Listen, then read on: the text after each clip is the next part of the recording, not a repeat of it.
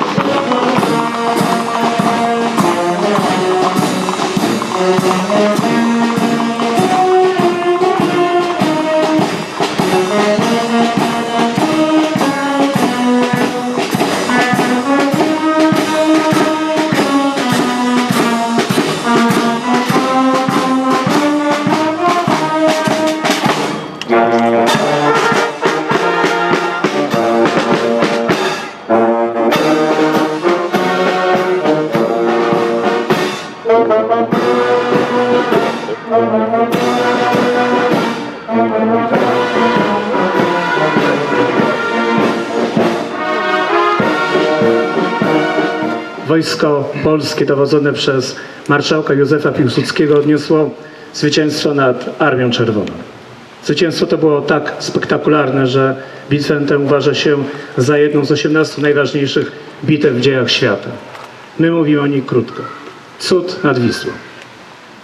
15 sierpnia, o czym warto pamiętać, ustanowiony został oficjalnym świętem Wojska Polskiego już trzy lata po bitwie, 4 sierpnia 1923 roku.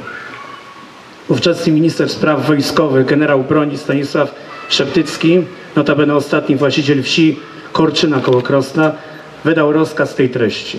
W dniu tym wojsko i społeczeństwo czci chwałę oręża polskiego, której uosobieniem i wyrazem jest żołnierz.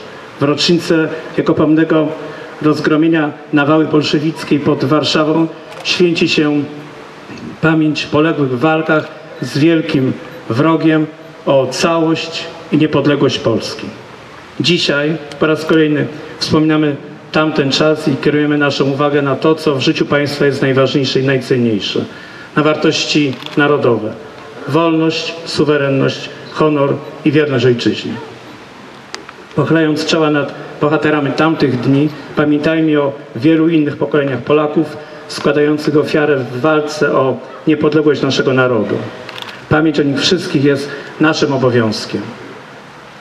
Ale pamiętajmy przede wszystkim o tych, którzy w dniu dzisiejszym pełnią czynną służbę wojskową w kraju i poza granicami kraju.